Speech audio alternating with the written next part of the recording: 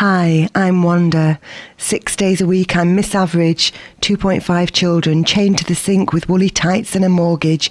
You know the type of girl. But it's Saturday morning, seven o'clock, and now I'm just chained to the radio, ready for the next four hours when Jan bears all. Whatever Wicked Wanda wants, whenever, wherever, she gets from Jan Bears on 92.4 FM. Hi, I'm Wanda. Six days a week, I'm Miss Average, 2.5 children, chained to the sink with woolly tights and a mortgage, and that's shit I'm not going to say anymore.